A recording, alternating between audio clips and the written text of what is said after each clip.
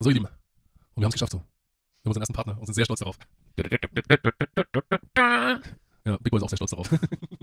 Bars.com, Freunde. Wenn ihr Bock habt Yes. auf ziemlich nice Kleidung, ja, Shirts, Hoodies, Drinks. ja, Drinks, Collectibles. etc., etc. so. Ähm, Merch von Künstlern, alles, von alles, Künstlern. Bücher, alles am Start, Freunde. Alles am Start. Alles aus. Ja. Und jetzt kommt das, worauf ich schon lange gewartet habe. Und mit dem Rabattcode. ja, genau, mit dem.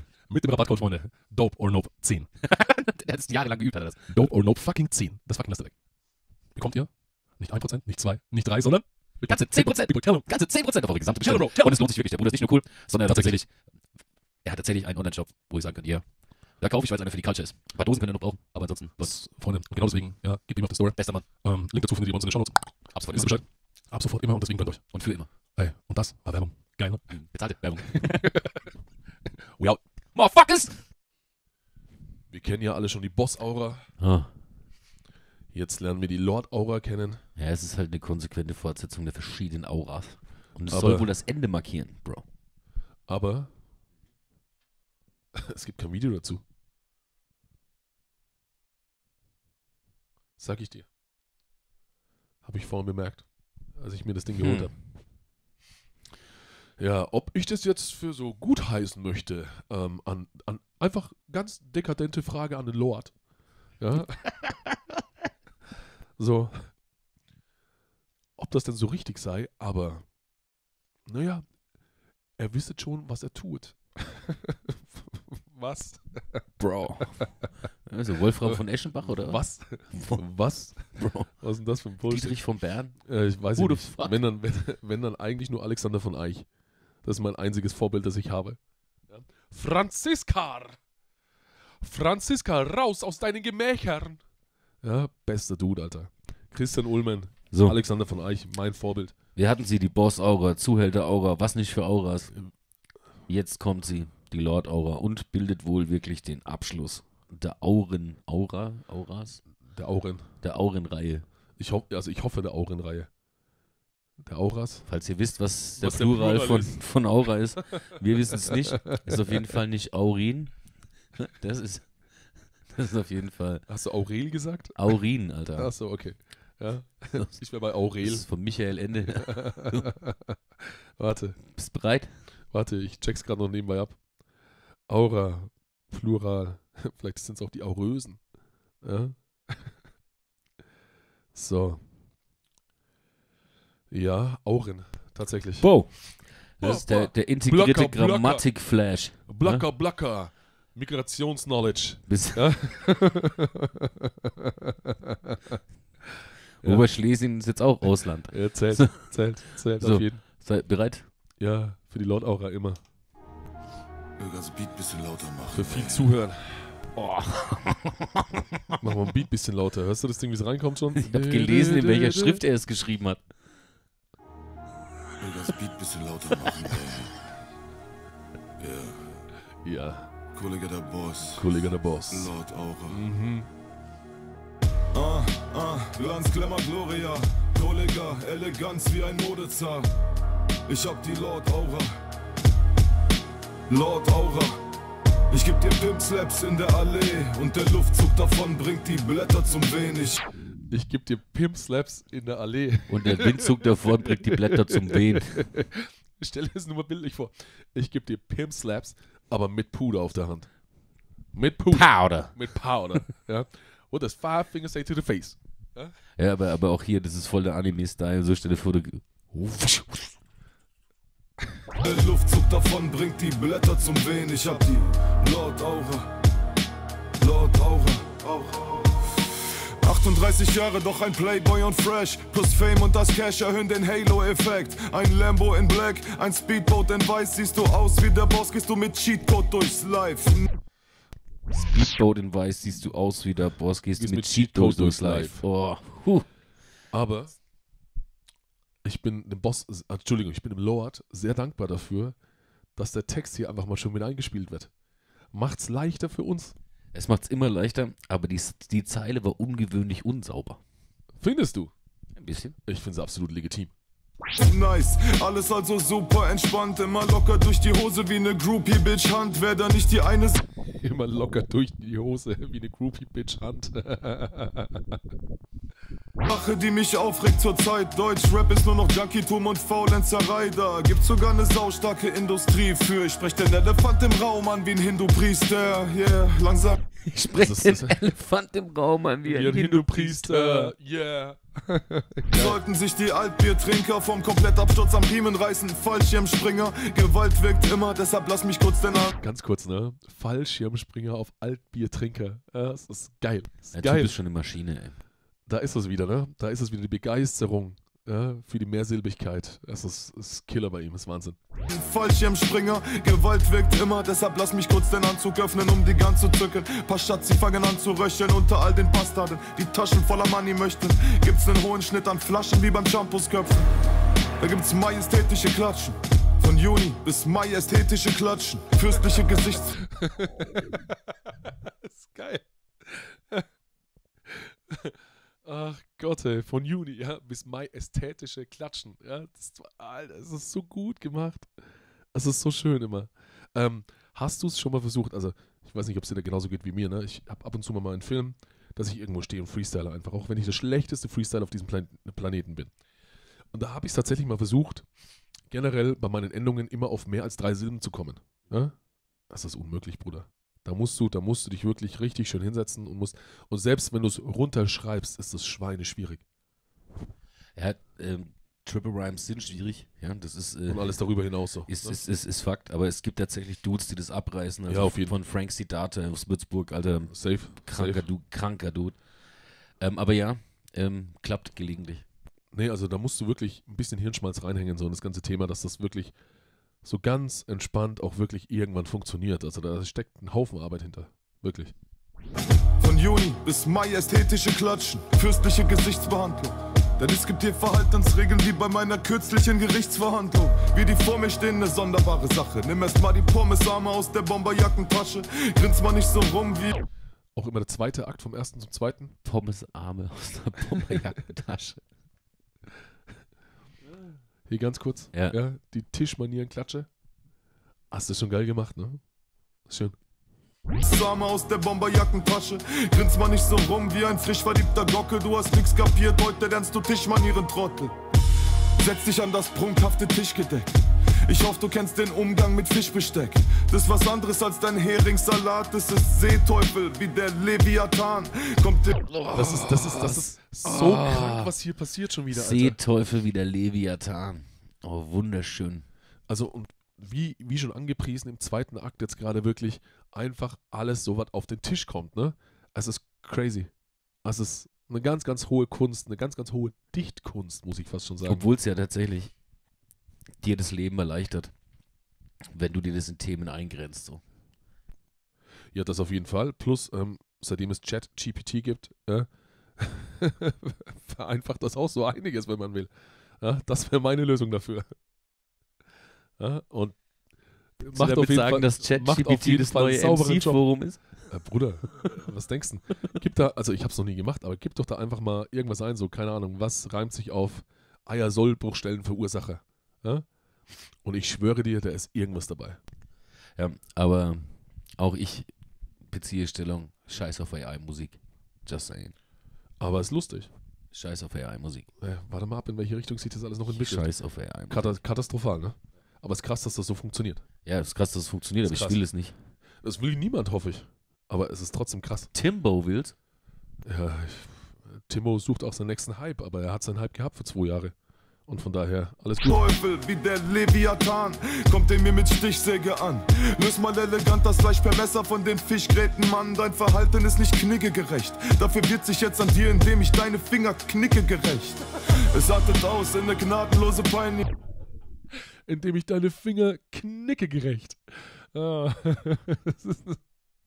ich liebe ihn. Ich liebe ihn. Es ist offiziell, ich liebe ihn. Ja? Ich war schon gespannt, was darauf kommt, auf knicke gerecht. Ja? Es war klar, dass da Knicke gerecht kommt, aber es ist auch schön, ist, wie du den ganzen Satz halt siehst, dafür wird sich jetzt an dir, indem ich deine Die Finger, knicke gerecht. Ja, es ist geil, Alter. Finger knicke gerecht. Es artet aus in eine gnadenlose Peinigung. Wie eine afghanische Stadionsteinigung. Knall Soundeffekte elegant in die Fresse. Nur echt mit Hohlraum in der Hand, Innenfläche. Rücken muss gerade sein, steif wie ein Pfannenmast. Finger abgespreizt wie der Zweig von nem Tannenast. Weil mir deine peinliche Art nicht passt. Hagels was, bis du mehr Respekt als vor deinem leiblichen Vater hast. Ich klatsch dir voll auf deinem moddigen Pausbäckchen. Habe ich gerade einen Akt verpasst? Weil es zum Wechsel kam? Sind wir schon beim dritten Akt gerade? Nein. Da habe ich nicht drauf geachtet. Okay. Mehr Respekt als vor deinem leiblichen Vater hast. Ich klatsch dir voll auf deinem moddigen Pausbäckchen. Und du holst aus deinen drolligen Augäpfeln. Vorher warst du noch ein Proll mit ner Pferdefresse. Jetzt trägst du die Serviette stolz wie ne Perlenkette. Vorher sah das alles grob schlechtig aus. Jetzt hast du beim Prost schon korrekte Stoßtechnik drauf. Ab jetzt nie wieder Pizza liefern lassen. Du bist endlich kultiviert dank der Tischmanieren Klatsche. Man achte auf Zubereitung des Dill. Kann man sich irgendwie dafür einsetzen, dass das Kolle direkt im gleichen Atemzug wie Schiller und Goethe genannt wird in Deutschland? das ist, glaube ich, sein Ziel ein bisschen, oder? Ja, Bro, also äh, das, das Ding ist, der, der Meinung bin ich absolut, dass äh, Hip-Hop, der jetzt gerade nicht irgendwie nur darauf ausgelegt ist, irgendeinen Spotify-Pipe aufzunehmen, ähm, die einzige Kultur ist, die, die da mithalten kann. Zeig mir jemand anderen. Aber auf jeden Fall. Zumindest bin ich mit dem anderen Teil der Kultur nicht so vertraut, dass ich das jetzt sagen könnte. Weil es gibt ja, ich kenne aus der jetzigen deutschen Dichtkunst, kenne ich niemanden. Ich Ich bin da kenne raus. niemanden, So. der es so macht. Ja, safe. Wir dank der Tischmanieren Klatsche, man achte auf Zubereitung des Dinnerbanketts. Denn ich hasse, wenn ein Koch sich seine Finger abschlägt. Ich hab den Scheich eingeladen, es wird ein geistreicher Abend. Bei einem Glas und etwas schön, dass wir so reich sind, geschwafel. Man soll was Feines heute braten. Ich bin kein scheiß Kannibale, doch will mein Leibgericht haben. Weite Panoramen wie im Mehrblick-Lokal. Nach dem Dinner spielen wir voll auf Coke mit Schwertfischen Dart. Der Butler bringt das Essen, was soll das sein? Diese Kinderportionen sind ja voll nicht meins. Ich jag Also tatsächlich ähm, ist es nicht der stärkste Track von Kolle bisher. Nee, ist es auch nicht. Aber ähm, die Reimästhetik ist ziemlich geil.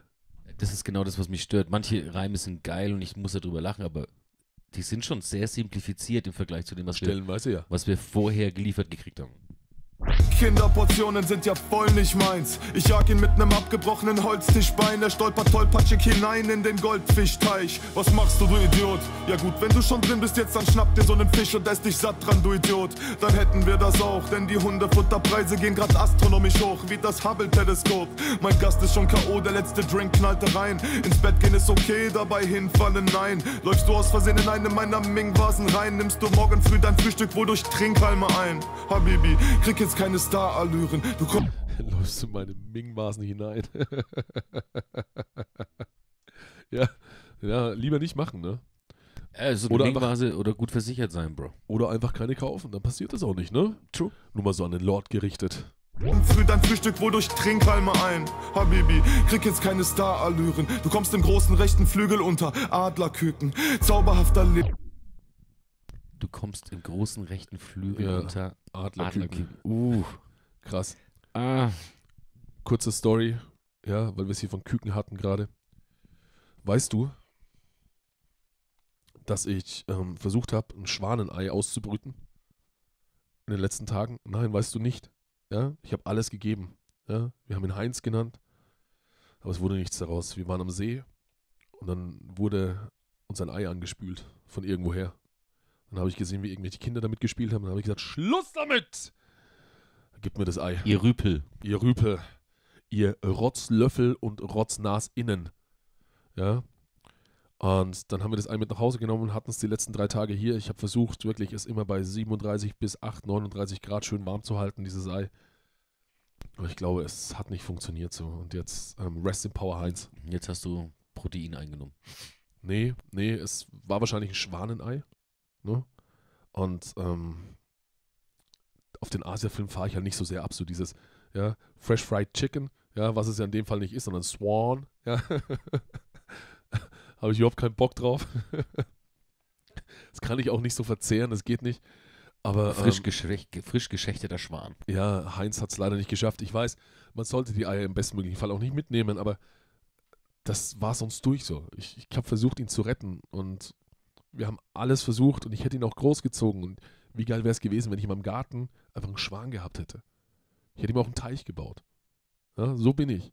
Und wäre dann mit ihm auf Schwaninnensuche gegangen. Ja, je nachdem, was dabei rumkommen soll. Als Wingman. Ja, als Wingman. Das, das, das wäre ich gewesen, genau. Ja, ich wäre von Heinz der Wingman gewesen. Let me pitch, put you under my wing, though. Alter Schwede. Aber Rest in Power, ja, er hat's, er hat's wahrscheinlich nicht geschafft. Heinz, Ja. Bester, bester Kurzzeitbruder. bester Schwan ever. Ja. Lebensraum. Ich schon mein Gästeklo als dauerhafter Lebensraum. Wer für den ein Lebenstraum? Milliardenflex. Ich hole Scheiß auf den Boden der Tatsachen runter. Wie private Jets. Der Boss umringt von Frauen bei dem Staatsbankett mit ausgesprochen scharfem Mess, wie das Wort Marsjackett. Ich hab nen Butler und der spurt so krass. Leute sagen, manchmal ist das nicht ne Spur zu krass. Der ist Butler, da muss er sich mit abfinden. Und mir fachgerecht Krawatten um den Frack binden. Also, ähm, Free Frede, ja, aka Frederik, falls er irgendwie vom Lord unterdrückt wird, auf jeden Fall. Und ähm, die Vorwürfe hier, ne, ganz klar, wir sind immer auf Frederiks Seite. Wir sind für dich da, Frederik. Frederik, du weißt es, ne? Also, Free, Free Friede. Ja. Ne? So ist es. Das ist, so hört er sich an, das Slogan. Ob der verachtenswert ist mit seinem Kackgrinsen, tja liegt im Auge des Betrachters wie Kontaktlinsen. Wir haben einen Scheich hier aus Saudi-Arabien. Hat mich erinnert, ähm, wie an die Line von Savage, ähm, ähm, liegt in aller Munde bezogen. Ja, ähnlich, ähnlicher Film gerade. So. Haben einen Scheich hier aus Saudi-Arabien. Mach dich gerade, sonst schwimmst du in Raubfischaquarien. Frederik, spiel etwas Gitarrenmusik vor und reich uns Davidoffs aus dem Zigarrenhumidor. Ja, ich rauche beim Essen, das ist so ein Liebhaberding. Und Sie waren klimabedingt niemals Skifahren, stimmt's, Herr Scheich? Wie ist das? Skifahren? Kannst du? Bei 50 Grad? Habt ihr da überhaupt eine Schanze? Noch etwas von der Feuerzangenbowle? Wir stehen eher auf Zigarren, wie eine Steuerbanderole. Ja, yeah, ich rauch vom Kamin genussvoll und putz Diener mit nem Fußfeger weg, wie Frederik ein Staubkorn beim Stiefelputzen. Konntest du das lesen, Bruder? Was genau? Also der Großherzog, und was steht da drüber? Was willst du? Über der Großherzog. Ja. Was heißt das? Schlussakt.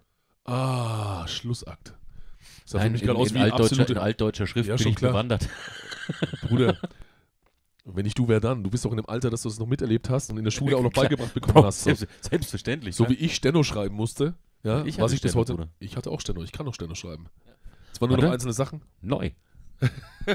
Das, ist das endlich geschwungen? War das nicht das K? Neu. Ja, genau. Jetzt, jetzt sind wir dabei, ne, Bruder? Ne? Also, Bro. damn. Ja, jetzt wisst ihr, wie alt wir sind. wir können Steno schreiben. Tatsächlich, tatsächlich habe ich das nicht mehr in der Schule gelernt, ja. Aber Das- meine Oma hatte original. Leute, Ja. hat er. Hat er. Es soll sich da nicht rausreden, wir wissen alle, das hat Big Boy. Und meine Ja? Oma hatte original noch so ein altdeutsches Liedgutbuch zu Hause. Ja? Und irgendwann habe ich das halt mal durchgeblättert. Das Ding war halt einfach mal die Nationalhymne mit allen drei Linden drin. Ich so, ja, oh, Vollkatastrophe. Oma. Aber man muss es auch so sagen, ne? Also Big Boy hat auch safe noch unter dem Führer gedient. Ne? Lass mal ehrlich sein, weil so alt, so alt bist du auf jeden Fall, Bruder. Staubkorn beim Stiefelputzen. Jetzt geh am Zauntor die Fliesen schrubben, denn da sind noch Blutspuren, weil vom Dobermann der Maulkorb zu schief gerutscht ist. Lustig, früher Kontostand im Minus, mein Konto stand im Minus, heute Kontostand paar Mios. Lord Aura, denn die Attitude geht halt in Fleisch und Blut über, so wie englische Steaksalz. Hochwohlgeboren an einem wohligen Sommertag, Eroberer von der Art wie Napoleon Bonaparte, der Großherzog, der, wenn man über ihn mal Großherzog, in den Krieg mit einem Großherzog. Ah, ah, Krass, Glanz, krass. Glamour, Gloria, Kollega, Eleganz wie ein Modezar. Ich hab die Lord Aura. Lord Aura. Ich geb dir Pimp Slaps in der Allee und der Luftzug Ja. davon bringt die Blätter zum Wehen. Ich hab die Lord Aura. Lord Aura. Ja, Puh. Die Melodie erinnert mich auch an irgendeinen Track, Alter. Ja. Da, da, da. Ja, ich weiß, was du meinst. Aber ich komme nicht dahinter. Also ihr wisst Bescheid, La Deutsche Vita. Der Himmel ist gesaved, der kann nirgendwo hin, Boss. So. Also. Was gönnen wir dem Boss? Ich gebe dem Boss ist- ein Dopestance. Die Frage ist, ob wir den Boss bosshaft bewerten, also nach eigenen Kriterien oder allgemeingültig. Nicht nach eigenen. Also das heißt, wir müssen es ja allgemeingültig sehen, ähm, im direkten Vergleich mit der Rap-Umwelt. Ja, weil wir können ihm jetzt nicht in seinem eigenen Maßstab ihn noch irgendwie schlechter bewerten aufgrund dessen, weil es dann draußen wieder keiner versteht. Da müssen wir uns dafür rechtfertigen oder sonst Müssen irgendwas. wir doch sowieso. Und deswegen geben wir dem Lord einfach in diesem Fall ein, also ich zumindest, ein Dope Pistons. Ja? Weil Big Boy hatte schon gesagt, es war nicht sein stärkster Track. Ähm, aber das weiß der Lord bestimmt auch selber. Ne? Aber darum geht es ja auch nicht, Freunde. Nee, also von Darum daher. Also wenn wir es so machen, gebe ich mir auch ein dopes gemessen am Rest von Deutschrap. Ähm, Ja, Mann. Nichtsdestotrotz finde ich tatsächlich, dass es als Abschluss von Boss Aura, Zuhälter Aura, diesen ganzen Augenreihen fast ein bisschen schade ist. Aber das ist Jammern auf höchstem Niveau. Wobei die Zuhälter-Aura schon gekillt hat, ne? Bruder, Und die Boss-Aura auch. Aber Bruder. Zuhälter-Aura war. Boss, Boss Aura ist, glaube ich, sein erfolgreichstes Album. Äh, nee, nicht King ist sein erfolgreichstes Album, aber Boss Aura war, glaube ich, so das. Hi, übrigens, ich bin Kollege und ich kann's. Ja, übertrieben. Ähm, ziemlich krass. Ja, von daher, ähm, Eure Majestät, Eure Lordhaftigkeit, ähm, bleiben Sie stets so bosshaft. Wir wünschen Ihnen auf jeden Fall mehr Erfolg als die No Angels. ja, ähm, ja. Mehr, mehr Erfolg als ähm, Peter Fox. Safe. Apache Auch wenn, auch 207. wenn der gerade Werbung Auch. auf Times Square hat. Hey, Freunde, aber Peter Fox ist mein Held. Also von daher, ähm, ich wünsche es dem Lord natürlich auch. Aber Peter ist schon, ist schon, schon ein krasser Motherfucker, ne? Von daher an alle bosshafte Grüße aus dem bossigsten YouTube-Tune-Team-Dings. Ja, Ever. wir halt. Peace out. Ja, und falls ihr wie immer Tickets fürs Heroes Festival wollt, Oder 10% im Ja. besten Online-Shop der Welt. das kommt am Anfang. Ja, ich, ich, ich weiß nur noch, Spul zurück zum Anfang. deswegen, ihr wisst Bescheid. Danke, tschüss und ciao. Wataguan. Na, what talk one? Wir kommen hier zu der Möglichkeit eures Lebens. Heroes Festival. Noch nie zuvor war euer Glück Sona. Heroes Festival. Noch nie zuvor waren aber Reactor so nett zu euch. Oh. Oh. Heroes Festival. Und deswegen haben wir für euch zwei Wochenendtickets für das Heroes Festival in Geiselwind. Yeah. Was ihr dafür tun müsst. Entschuldigung. Ihr müsst dem Heroes Festival auf Instagram folgen. Ja. Ihr müsst dem Heroes Festival in Geiselwind folgen. Ja. Uns einen Screenshot schicken, dass ihr unseren Kanal abonniert habt auf YouTube. Mhm. Ihr müsst uns auf Instagram folgen. Ja. Und von den anderen Follows, weil bei uns sehen wir es ja, brauchen wir auch einen Screenshot. Das heißt, tres Screenshots von euch in unser PN-Postfach bei Instagram, also Entschuldigung, DM, uns den Scheiß und dann losen wir aus und geben den Gewinner, die Gewinnerin, wie auch immer. Rechtzeitig bekannt, Freunde. Safe. Materia. Ne? Nina Chuba. Pascha an dem Freunde. Oh. Sido. Ja. Tretti. Ah. UFO 361. Ja. Die heißen zwei Boys. Mhm. Ace T. Uh. Audio 88. Zusammen mit Yassin, Ah, Alter. beste. Beste. Bad Chief. Dadan. Mhm. Dilla. Disaster. Casey Rebel und Summer Jam, Alter. Uh. Ja, Calvin Cold. Maschine. Mann. Kitty Cat. Oh. Ja, Kwame. Lugatti und Nein. Oh. Und noch vieles, vieles, vieles mehr, wirklich, was da so los ist. Es sind die nicesten DJs am Start, alles Kollegen von mir. Ähm, es ist ein sehr, sehr nice Festival, ja, krass aufgezogen und von daher, Leute, geht dahin, macht bei uns ein Gewinnspiel mit und grabt euch die Tickets. Wollt ihr wissen, wer noch da ist? Der Big Boy und der Sherlock, Die machten einen drauf. die kamen da vorbei.